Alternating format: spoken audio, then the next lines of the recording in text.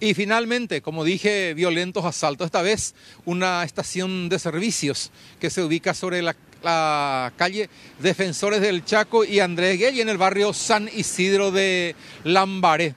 En esta estación de servicios irrumpieron tres motocicletas con dos ocupantes cada, cada motocicleta, es decir, seis personas, de los cuales dos se bajaron con arma de fuego, eh, eh, golpearon a uno de los playeros, pero el otro también atacó al funcionario de, este, de, esta estación de servicios y llevaron las dos billeteras de estos empleados.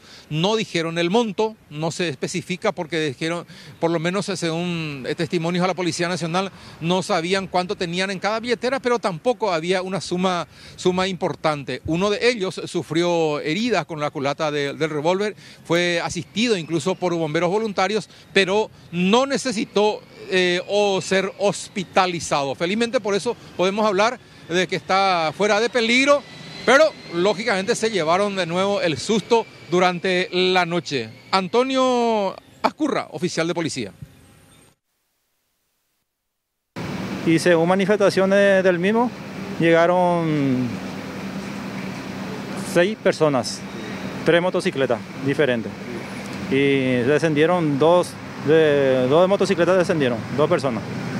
Uno de ellos fue muy agresivo, según manifestaciones de lo mismo. Y llevaron de ellos dos billeteras, uno de cada uno. Eh, dos playeros había en el lugar. Dos playeros. Sí. Y la suma de dinero no, no, no, no, después del inventario. Sí. atacaron directamente a los playeros. Así es, uh -huh. sí. Uno de ellos me parece tuvo incluso una herida, un golpe, ¿qué pasó?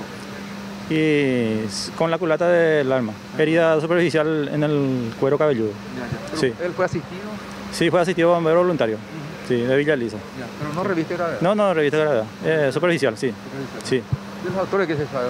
Y una vez perpetrado el hecho, según manifestaciones de los testigos, se, se dividieron. Uh -huh. eh, y un grupo se fueron por defensores y otros se fueron hacia San Isidro.